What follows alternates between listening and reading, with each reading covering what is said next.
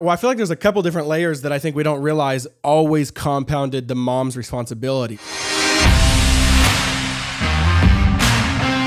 What's up, guys? Welcome to another five minute fatherhood. So, we want to talk about how did the parenting and child rearing responsibility suddenly fall more on the mother than the father? A lot of us don't think of this as a new idea, um, but historically, it is a fairly new idea. Um, and so, what we see as oftentimes the goal or the ideal from the 1950s, that was fairly new, even in the 1950s, that the mother uh, was sort of seen as the primary person that cared about the home. And uh, one person who's really done a lot of research along this, um, um, Blankenhorn, he wrote a book about fatherless families, and he said God has given fathers a unique role in the education of their children. The word discipline did not originally mean punishment; it meant teaching. Just a few hundred years ago in colonial America, fathers bore the ultimate responsibility for the care and well being of their children. Fathers assumed primary responsibility for what was seen as the most essential parenting task the religious and moral education of the young.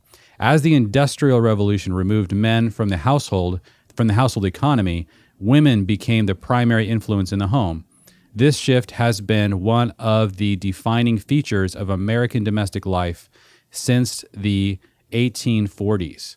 And so if you think about this experiment is, a, is almost about 150 years old. What happens when you, we make a collective decision to disintegrate work from family, send the father out to work apart from the family, and then tell uh, our wives and the mother that they're the ones who need to pick up all the slack at home. How is that working? And and that's seeing that as really kind of historically a new phenomenon for a lot of people uh, isn't something they've, they've realized. And so we're all kind of like recovering from how big of an influence has this really had on the family. So I'm curious, Jeff, what, what are your thoughts on that?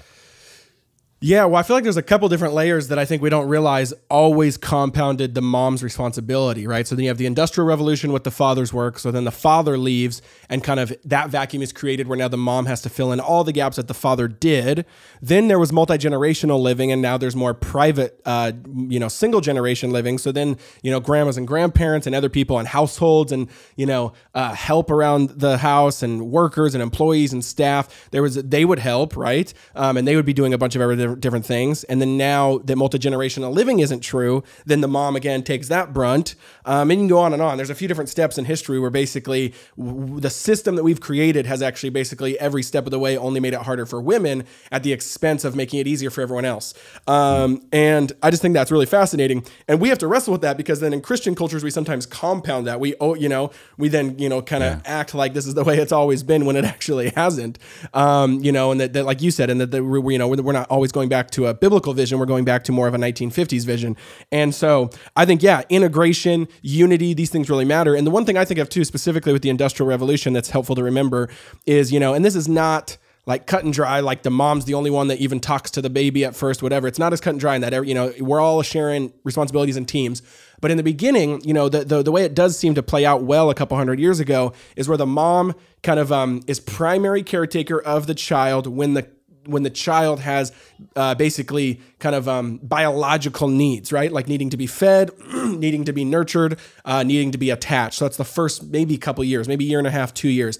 But then after, you know, already by early toddlerhood, you kind of see that then there's this transition, usually in that period, to then fathers and almost seeing their kids as like apprentices, right? That you very quickly are put into like this apprenticeship following role of the father where he is discipling you, apprenticing you um, towards different directions. And so I just think that's a, like, we don't, we usually, you know, make that gap way longer. Like the mom takes care of the kid until the kid's 20.